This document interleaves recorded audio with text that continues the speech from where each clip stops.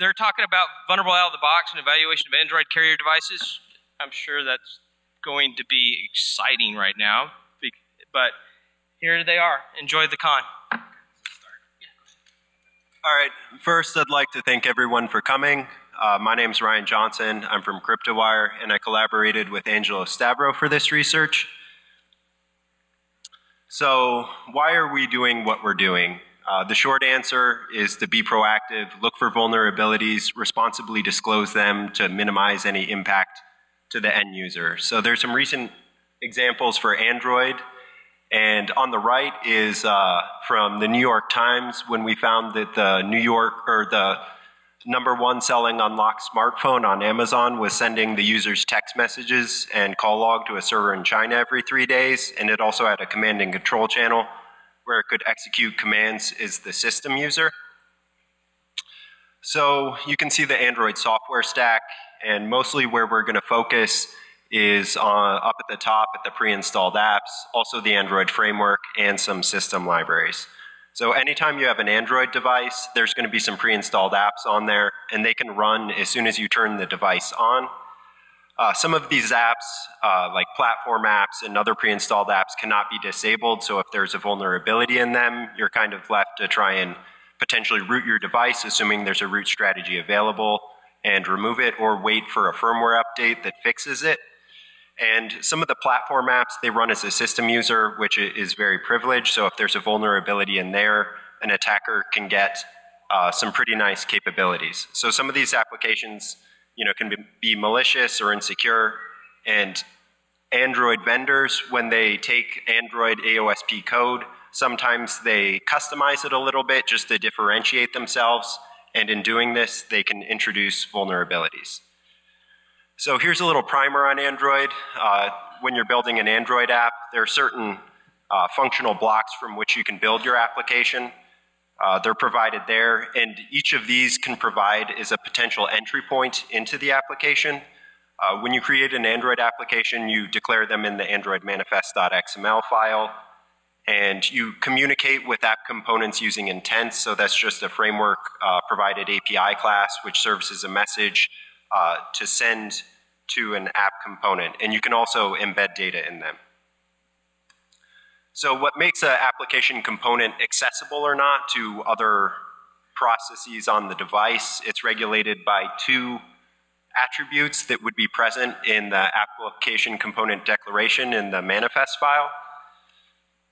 Uh, so, and there are some instances where Android will by default export an application component. So if it doesn't use the Android exported uh, attribute and it contains at least one intent filter, Android will export this by default even though you didn't say set Android exported equals to true. So at the bottom there's a, uh, a service that's being declared and this service uh, is exported by default and using it you can actually download and install an application. So here's the threat model. The a low privileged third party app needs to be present on the device, and this can reach the device either by repackaging, so taking an application, inserting code into it, putting it onto a third party market, phishing, sending it directly to the target, or remote exploit. We saw with the ADUPS command and control channel that that was over HTTP, and using that, you could just man in the middle it and say, download this application, install it, and run it, or it could be part of a second stage exploit. Uh, generally, uh, the attack, the permission requirements are potentially no permissions or read external storage. Because read external storage, we've noticed that pre-installed applications, uh, some of them will just dump data to the SD card. And so the, the application is a malicious app without malicious permissions that is leveraging uh, a pre-installed app, an open interface in the pre-installed app to get uh, some resources or capabilities that it cannot access directly. So here's a list of uh, some of the vulnerabilities we found. We processed more than 500 firmwares and it shows the device, the vulnerability, as well as the carrier. And we have a framework uh, scanning for vulnerabilities and a pipeline with additional vulnerabilities that haven't yet uh, been disclosed, and in this presentation, we're going to try and cover all of them. So starting off with ZTE, we looked at a bunch of ZTE devices on carriers, and each ZTE device we looked at contained this vulnerability. So you can see the devices at the bottom, and essentially uh, any application uh, on the device can interact with a custom service that they have and have this service start writing the modem log and the logcat log to the SD card And the logcat log, the system-wide one is not directly accessible to third-party applications no matter what permissions they request. Uh, and when this logging is occurring, there's no vis visual or audible cue to the user that this is occurring. And it writes it to a base directory of just SD card, uh, SD underscore logs. So Here's some instances of things that we've seen in the logcat log. So any process on the device can write any arbitrary message to the log. It's a shared resource, so if you leak data there, it's going to show up in the log. The example up at the top right, that is from Fortune 500 Android, uh, Fortune 500 bank's Android app, and the device uh, or the application writes the user credentials to the log. Some devices we've seen have the messaging app in debug mode, so at that point you'll see the destination of the text message as well as the body of the text message.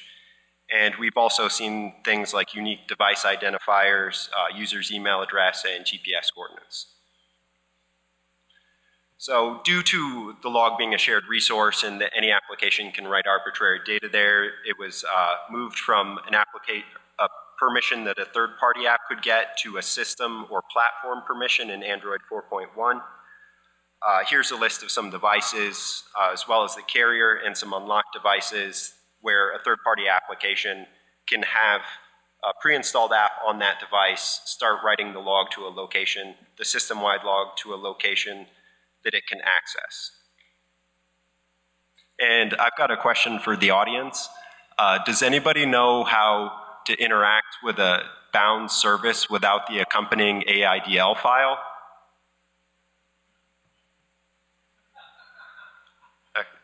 Okay, so this is how it works on the ZTE device. There's a pre-installed platform app.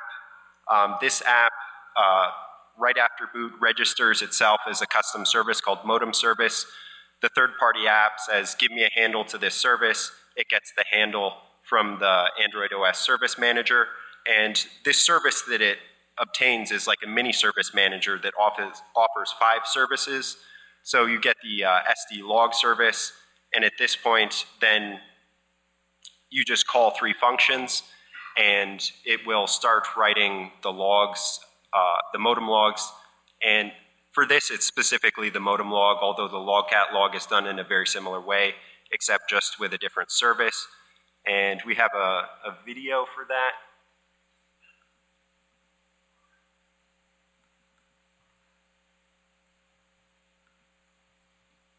So here, just going uh, terminal application, going to the SD card, uh, going to the directory where it writes them, just showing that it's not there.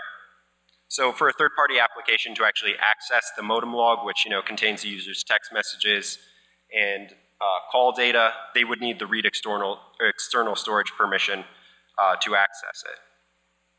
So just installing some app, it's going to be done by an activity in the foreground. This could be done in the background by a service. Going back to uh, uh, the terminal, that directory should be there now.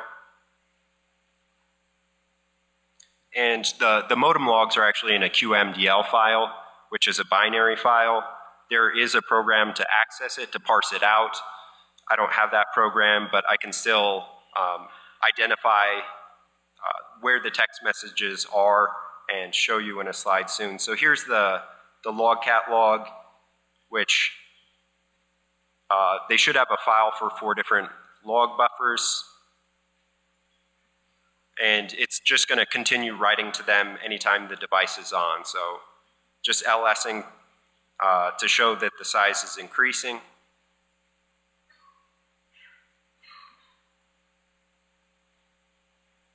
And then just catting it to show the contents of it. and then we'll go back to uh, the base directory to look at the QMDL file. Uh, we're unsure if this actually contains uh, voice data from the telephony, but it does contain the text messages and incoming and outgoing calls.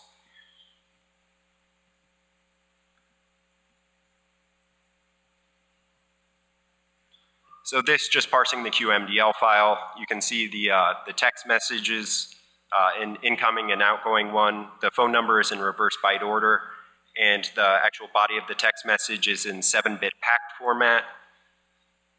And so it's just a incoming and outgoing text message, and then just the calls that you make also show up in this QMDL file. And moving on, switching to LG, uh, we uh, have some vulnerabilities here. You can also obtain the system-wide logcat log, except this you can get it written to the attacking application's private directory. Uh, so you don't need any permissions, and you can see the devices affected. It's generally written to the SD card, but that you can use path traversal, and you can also inject a parameter uh, argument um, to the command that's being executed to get all of the logs. You can also lock the user out of their device, so a zero permission app can just send a, a single broadcast intent and the screen lock will not let the user in. I'll show a video of that soon. There's another pre-installed app where you send it a broadcast intent and it, it's going to write a database full that contains uh, snippets of the logcat log and the kernel log to external storage. So to get the system-wide um, logcat log, there's a pre-installed app. It will execute the command that's shown in the first bullet. Uh, this, when you activate it by sending in an, an intent, you can actually provide the path. Uh, there's the default path in the second bullet, so if you just do double dot slash four times, it takes you back down to the root directory, and then you just add on slash data slash data package name, uh, and then a file in your private directory. And at that point, that does require some file permission changes, which any app can do. You need to have the app's private directory globally executable, and you need to create that file, or create the file that you're going to write to, and then make it globally writable. So the system process uh, can append to it, but you'll still own the file. And in the intent, you can provide an array list of strings, and in these strings, it's essentially just a log tag um, to add to the command. But and it, and it appends a colon v to it just to give any log message at any log level for that log tag. But in red, if you just do the wildcard colon v, this will give you every single log message uh, in the log, and then space, and then any arbitrary word. And then that gets added to the command, and then it's going to start writing the system-wide logcat log uh, to the attacking application's private directory. Uh, so you can also lock the user out of their device. So this makes the, the screen lock essentially unresponsive except for making emergency phone calls. And the, this is done, the System UI app has an exported interface where you send it a broadcast intent. And at this point, it's going to lock the screen. And this screen lock is active in safe mode. So in safe mode, third-party apps aren't running, but pre-installed applications are running. Uh, but it reads from System UI app will read from system settings and keep the lock in place. This sort of thing could be used for a cryptoless ransomware where you could provide messages at the bottom. Uh, they're called toast messages informing the user you know, where to pay uh, to unlock it. And the user, if they have enabled ADB uh, prior to the screen lock attack, they can unlock it if they are crafty and look around, change, manually change the uh, settings and uh, or send a, a different broadcast intent to unlock it. So have a video.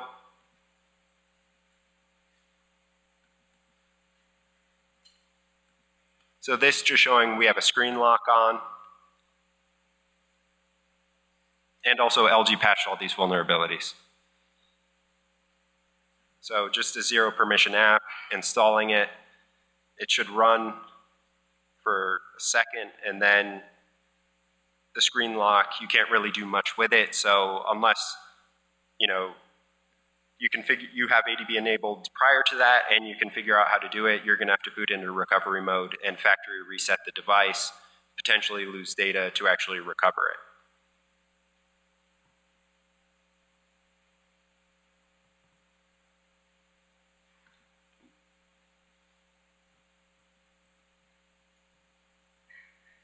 So there, speaking of factory resets, we also found that a number of devices, some of them carrier, some of them unlocked, expose the capability to perform a factory reset. If you have an Android phone, you've potentially gone into the settings app and seen erase data. This, it will perform a factory reset.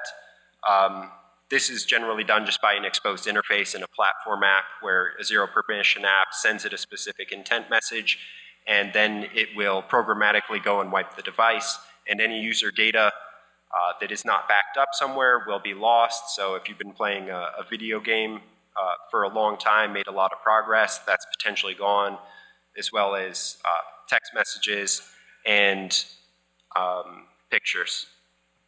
So we have a video for that.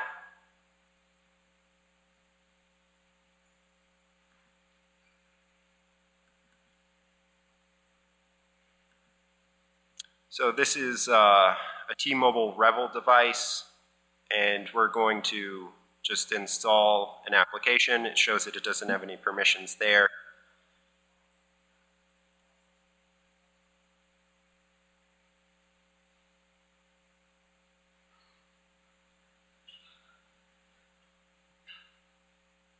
So, and then it, it boots into recovery mode and then wipes the data in cache partitions.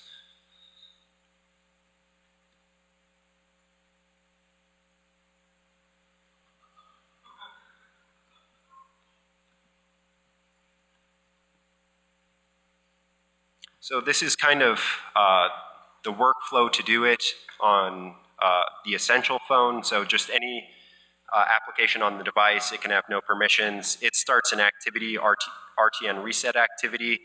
Uh, that's in a pre-installed platform app, which is very privileged. Uh, that activity then starts a, another activity, which is going to send the master clear broadcast intent and this will be received by the system server process. The system server process provides uh, applications with all sorts of services. So the master clear receiver receives this, it calls an internal API class, uh, recovery system, and a method called reboot wipe user data, and at this point it writes minus minus wipe underscore data, as well as a few things to uh, the, a file on the cache partition, cache recovery command, then boot, reboots into recovery mode, and then just wipes the data in cache partitions. So also, uh, we did find uh, arbitrary command execution as a system user through a vulnerable platform app on the Asus ZenFone 5 Live device. So we talked about the Android manifest XML file earlier.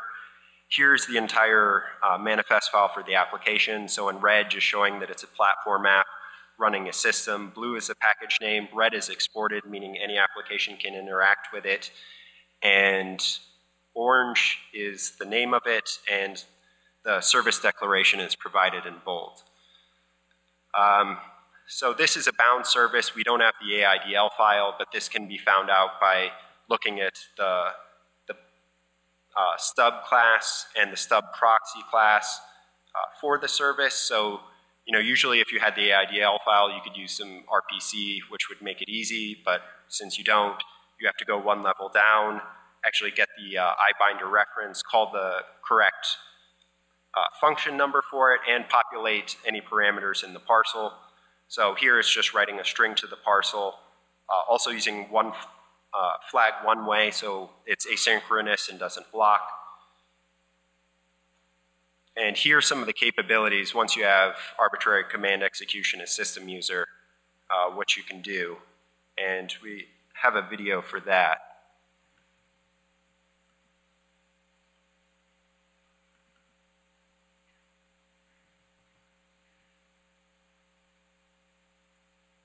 So here, just going to the applications that are installed, it's called DEFCON 26. You'll see that it doesn't have any permissions. Uh, click around on it for a little bit. So there's a nice little menu. Uh, if you want to obtain the user's text messages, uh, you can. Uh, the way it's being done takes a little bit, and I'll explain why. So just getting the user's contacts. Uh, looking at the call log. Also, this application uh, has the code to be a notification listener embedded in it, so it can obtain the user's noti active notifications, receive them when they come in.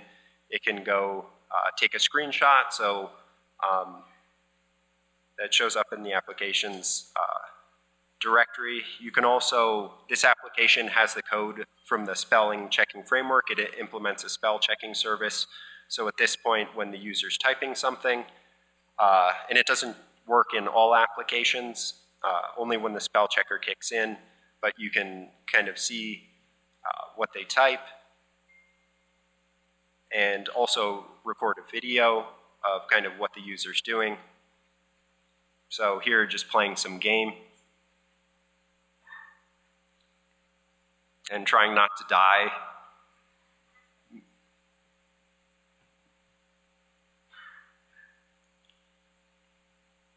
Also, this application, uh, if you want to implement a keyboard on Android, it's called the input method editor. So the previous keyboard was actually the standard looking keyboard. It has the code to be an input method editor, so it's going to change the settings to set itself as the keyboard. So the keyboard's going to look different. I mean, if you wanted to be malicious, you would want to try and have it match the default keyboard. Uh, but the, the keyboard you'll see soon will be blue. So it's going to swap the keyboard. It's, this, it just writes some changes settings to have the keyboard uh, be the one that it's implemented in its code and then any key codes that are pressed are going to be transferred to the malicious app via a dynamically registered broadcast receiver. And this will get something, you know, everything that you type. So going to type something, delete it, um, and then type something else,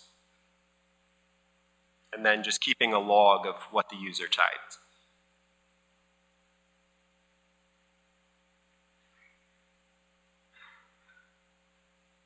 and then calling 911. Which, if you can do, I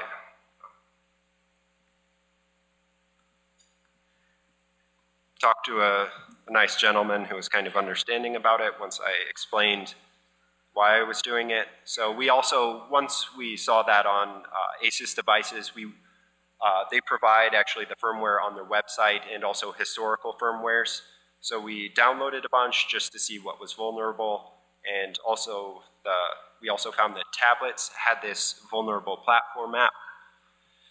Uh, then we also wanted to find out when it was introduced, so we focused on one device, which was the Asus ZenFone 3, and saw that it was introduced around March 2017, and then it further got introduced into all other markets, uh, except for China, which was uh, just stated Android 6.01, which is a non-vulnerable version. And this is a non-US uh, carrier device, but it's a device that's uh, popular in Asia. It's called the Oppo F5, and this vulnerability has been patched, and they also went and after this became uh, a CNA, which we thought was a very good thing. So there's uh, an application uh, on here, which is a very simple application. Uh, we took the ODEX file and then provided uh, the source code for it. So essentially it just has a thread and it will take a string and then execute it as the system user. And on the lower right is actually just the code to um, execute it. So um, another question for the audience. So does anybody have a good way, if you just have access to runtime exec, to make the vulnerable app write a script and then execute it? Okay, so what we did, one of the devices we looked at actually, the platform app, the SE Linux rules prevented the platform app from reading and writing from an untrusted third-party app's private directory although all the other devices allowed that, but this device uh, prevented that. So uh, just using runtime exec is kind of limiting. We would you know, want to have some logic in there as well as some output redirection. So the approach that we came up with to do that is just to select a string with high entropy, and then in the attacking app, create a uh, dynamically register a broadcast receiver that has an action string of that uh, high entropy string, and then from there start writing to the log using a log tag of that high entropy string, and then each log message contains one line of the shell script to execute. You can see it um, uh, at number two. Uh, from there, since you have command execution, you make it execute the command in bold. So this makes it, uh, there's a bunch of parameters to it, so it's just a logcat command. Minus v raw just gets you the actual log messages as opposed to the log tags and any timestamp stuff. Minus s silences every other tag except the one that you want, which is that high entropy string at any log level. Minus f writes the log messages to a shell script in the vulnerable apps private directory, and then minus D makes it dump the log as opposed to keep reading from it. So it just dumps a log buffer. So that's going to write your script to the vulnerable apps private directory, and then you just change the file permissions on it and then execute it. And the example here is just to get the text messages, write it to a file in its private directory, and then send uh, that file using uh, a broadcast intent and embedding it in there to the, the attacking apps, uh, to the attacking app. And then if you relax some of the conditions, if it can write um, to the, the, a vulnerable platform app, if it can write to the third-party apps private directory, then you can just have it uh, write directly in there with the text messages shown here. And that it require, requires the file permission changes that I mentioned earlier, making the attacking apps uh, private directory globally executable and creating an empty file and making it globally writable.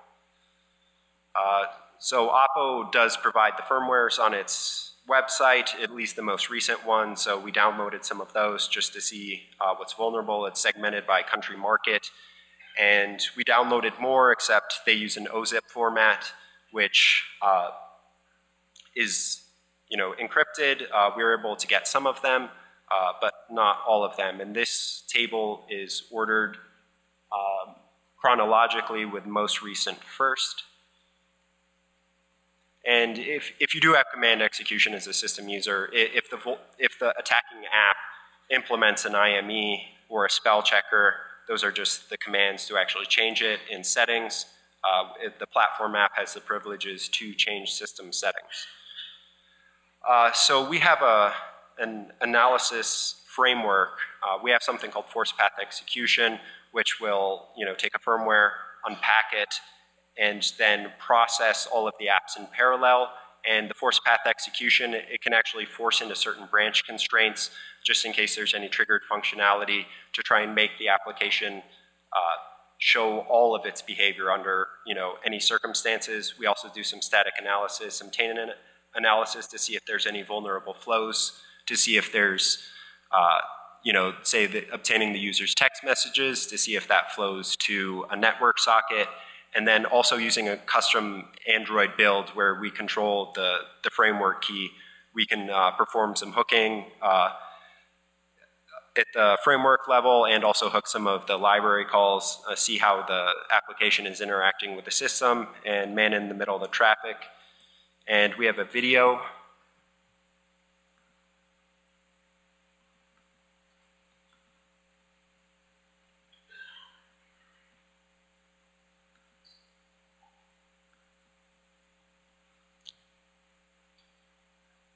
So we, there's uh, three vulnerable platform apps that have command execution as a system user.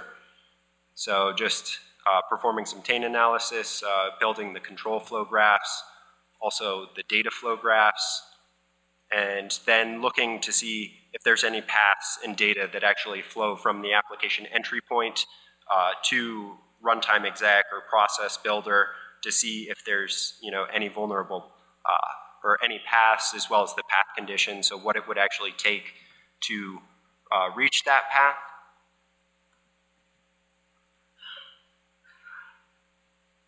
Uh, we also found that uh, certain devices have the capability um, where a third-party app can initiate the taking of a screenshot. So this uh, is generally from system server uh, being modified. There will be a, a, broadcast receiver where if you send it a specific intent message, um, it will uh, uh, take a screenshot, and if an application has read external storage, it can read from the SD card. Also expand the status bar to see what the user's current notifications are. And this sort of thing isn't transparent uh, to the user so they can see it, but an application, uh, if, if it knows the user hasn't been using the device for a while, it can, even though there's a screen lock, come into the foreground, bring down the notification bar, take a screenshot, and then use a generic attack to soft reboot the device uh, to get rid of the notification. So we have a video uh, showing that. So there's an active screen lock on the device. Uh, the application runs, takes a screenshot, shows up in the application's uh, image view.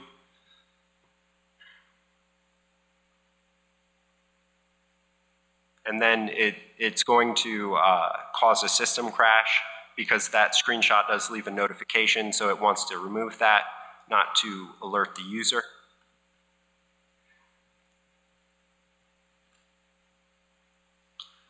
Uh, we also uh, found uh, an application on uh, certain devices which allows any third-party application without any permissions to send text messages, read text messages, modify them, and also obtain the phone numbers of the user's contacts. Uh, the package names are provided there. One of the package uh, package names is actually just a refactored version of the other, so the namespace is a little different, but the functionality's the same. And uh, this is a platform app that can't be disabled. So uh, looking at the manifest file for the application, the receiver up at top in red, uh, it's exported, and if you send an intent message with the correct fields that it's looking for, such as the message to send and the phone number to send to, it will go on and send a text message for you. And there's also seven content providers which are exported, and that's usually kind of strange behavior uh, a little bit because they tend to contain, uh, they're a repository for data, so that opens it up to any process on the device. And they actually act as a wrapper. So you query this content provider, it's going to query the text message content provider, get the results, pass that back to you. So moving on to the ZTE ZMAX Champ device. So there's a pre-installed platform app here, which will just allow any application on the device to cause a factory reset, resulting in potential data loss for the user. There's also a way to get the logcat logs and modem logs that were described previously.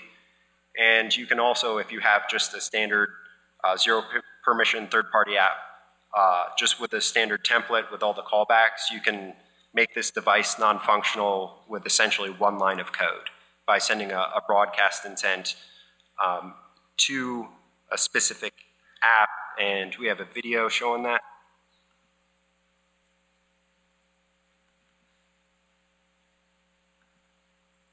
So this is the ZTE ZMAX Champ device.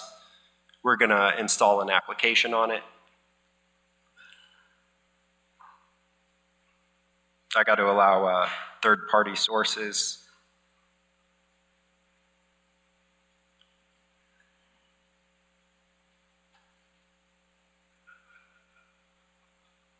So it doesn't have any permissions. That's what that screen shows. We're going to cancel that.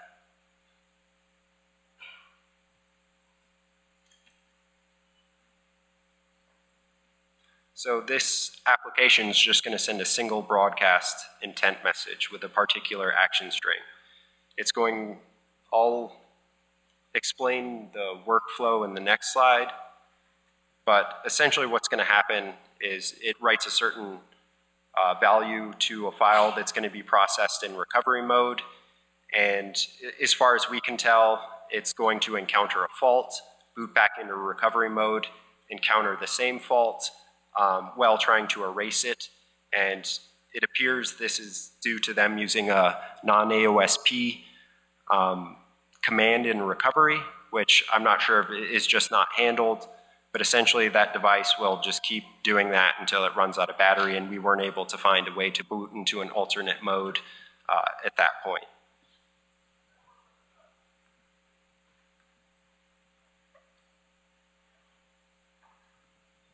So here's a workflow for it. It's just a, you know, a zero permission uh, third-party app on the device.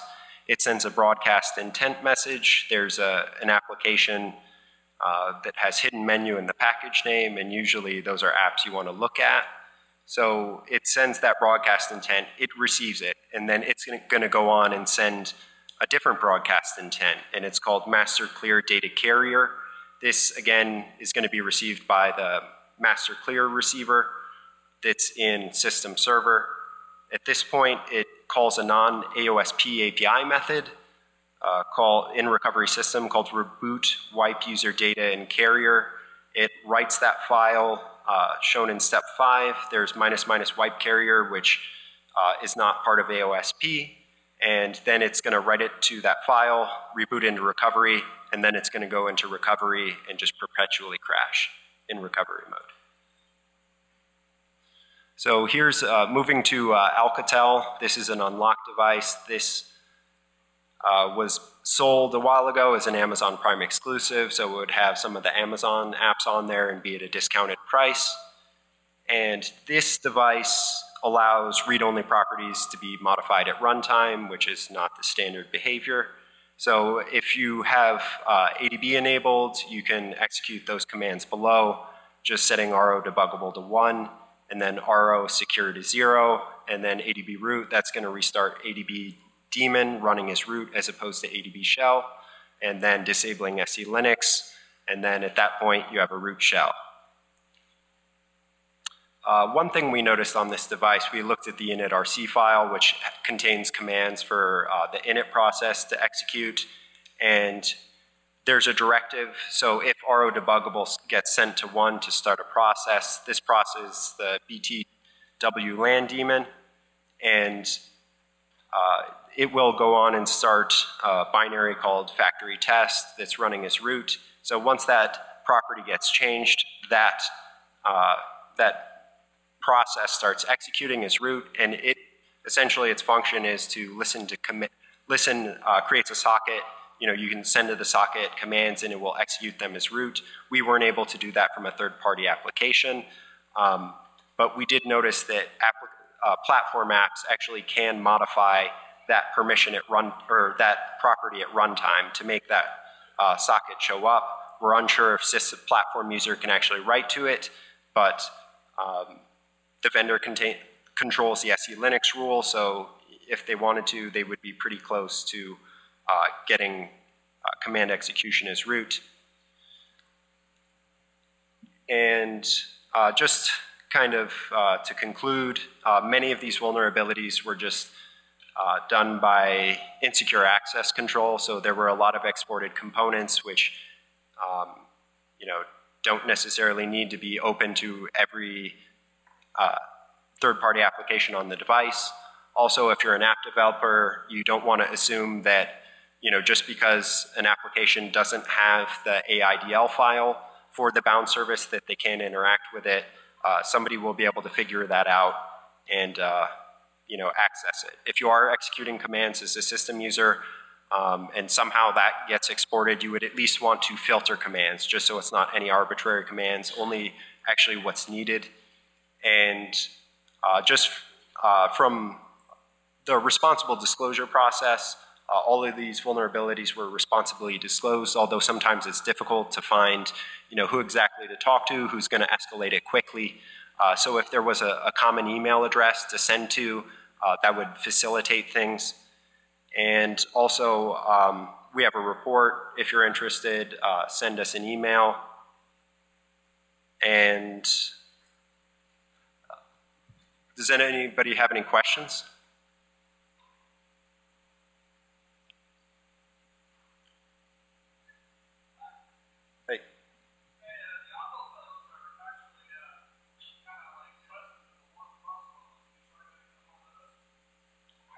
I didn't look at any OnePlus devices.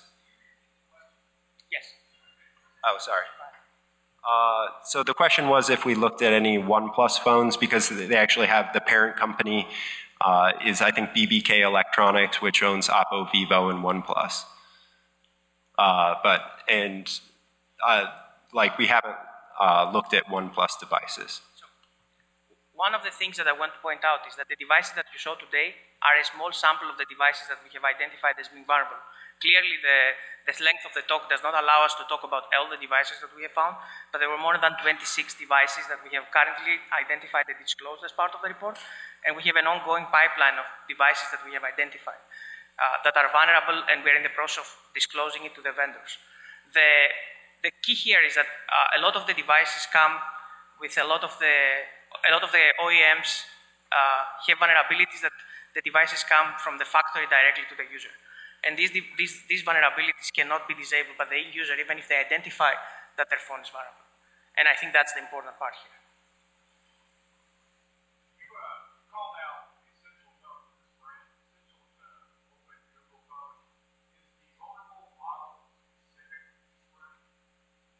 Uh, the question is if the the essential phone is specific to Sprint. No, it's not specific. No, no. Uh, and again, the reason that we have some of the phones are tied to carrier, carriers is because we wanted to show that basically that's not a, not a specific carrier problem or specific OEM problem, but it's a pervasive problem across multiple carriers, and the industry needs to be looking at that as a whole rather than you know specific carriers.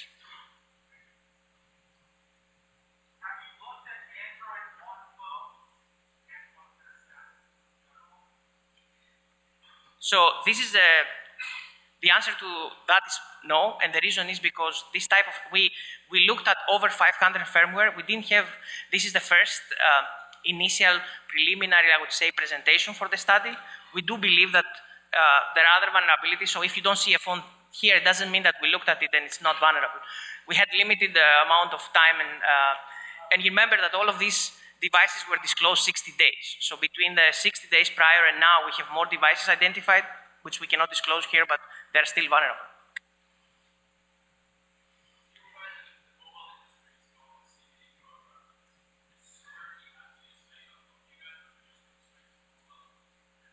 I, I didn't hear the question. Go ahead. Uh, yeah, we weren't aware of that at the time, but uh, thanks for letting us know.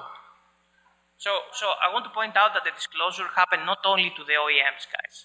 The disclosure happened to Google and to the carriers themselves. So it's not that we tried very hard to reach out to the responsible parties and have these, uh, these firmware spots ahead of our presentation. So basically, we don't put people in harm's way. Uh, and most of the vulnerabilities somehow being either addressed or there's a fix uh, prepared. Some of them are not, but this is completely up to the OEMs and the carriers to that process to proceed. Yes. Yep.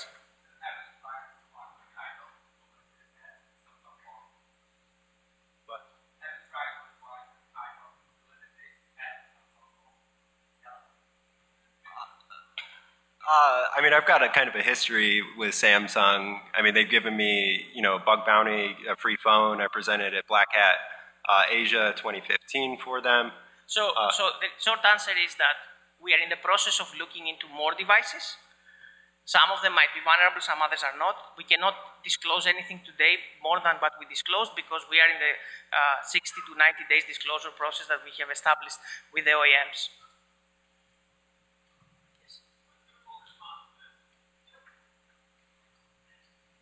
I don't know if we can we can't speak for Google. Yeah, I think I think uh, you can uh, you can directly uh, address the question directly to Google. I think Uh, I think they're trying hard to help with the ecosystem security, but I mean, we cannot answer for that.